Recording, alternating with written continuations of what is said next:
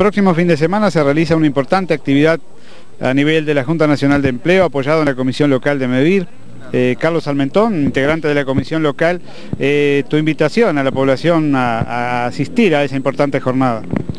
Bueno, eh, José, creo que antes que nada es importante hacer saber a la población cuál es el objetivo que se busca con, estas, este, con estos cursos de información.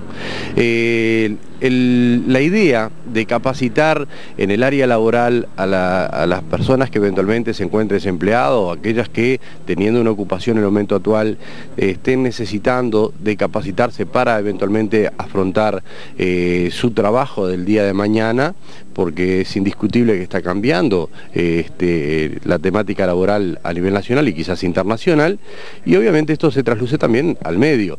Entonces, eh,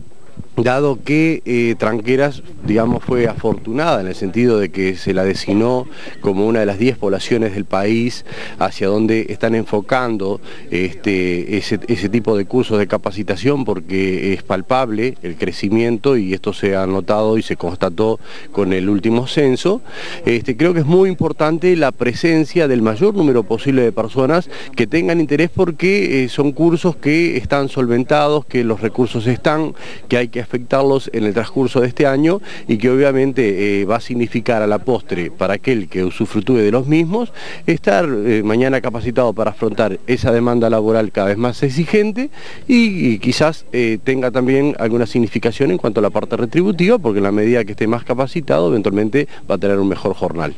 Carlos, ¿quién o quiénes deben, deben o, es, de esperar que concurran el próximo fin de semana a la reunión? Bueno, eh, todos aquellos que eventualmente tengan interés en algún tipo de cursos, pero además eh, lo fundamental es que se es receptivo, porque lo, lo que se quiere oír al margen de un pesquisamiento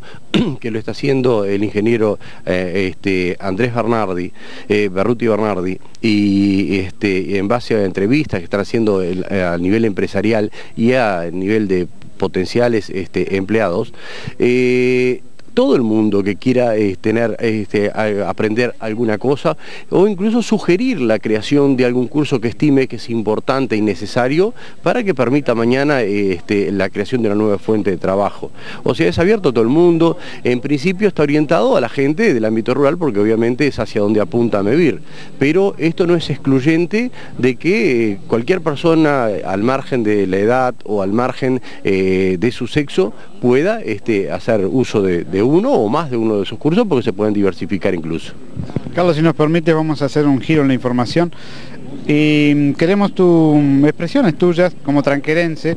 porque el próximo martes, el 22 de julio, Tranqueras cumple 83 años de su declaración como pueblo. ¿Tú qué le dirías a, la población tranquerense ahora que somos ciudad, eh, han transcurrido ocho décadas de su declaración como pueblo, un mensaje como ciudadano, como autoridad que eres a los pobladores? Bueno, eh, que esto es parte eh, o sea, incluso el formar parte de estos cursos o incentivar de alguna forma, lleva a este desarrollo. Uno eh, que es tranquerense nato, eh, siente el orgullo de haber nacido en este centro poblado, cuando muchas veces a veces la gente se siente un poco menoscabada por, por, nacer o vivir en un centro poblado del interior. Yo lo digo con total satisfacción y orgullo, para mí Tranqueras es uno de los grandes centros poblados del país, no importa que sea digamos un poco en el área minúscula, pero siempre digo que los chicos crecen y ese crecimiento depende pura y exclusivamente del esfuerzo de todos y cada uno de nosotros los que convivimos en el área. Y ese desarrollo y ese crecimiento tan necesario y es lo que lleva a lograr eh, mejoras eh, sustanciales para una población y que se plasman en el área de salud, en el área educacional, en el área de vivienda y en todo lo demás, eh, se está dado o se da fundamentalmente por el esfuerzo que cada uno de nosotros, integrantes de esta comunidad, tratemos de llevar adelante al margen de algún apoyo que eventualmente podamos lograr este, eh, fuera de, la localidad. Pero eh, creo que en este momento que tenemos la satisfacción de ver que Tranqueras ha crecido, que Tranqueras es un poco punto de referencia para muchas localidades del interior del país, incluso a nivel departamental, creo que es muy importante que, bueno, aglutinemos esfuerzos, que nos unamos una vez más para lograr aquellos objetivos comunes que van orientados al beneficio de toda la comunidad, la colectividad que a veces es tan necesitada y que esto se plasma saliendo al área periférica de Tranqueras. Este, y bueno, ¿y qué puedo decir?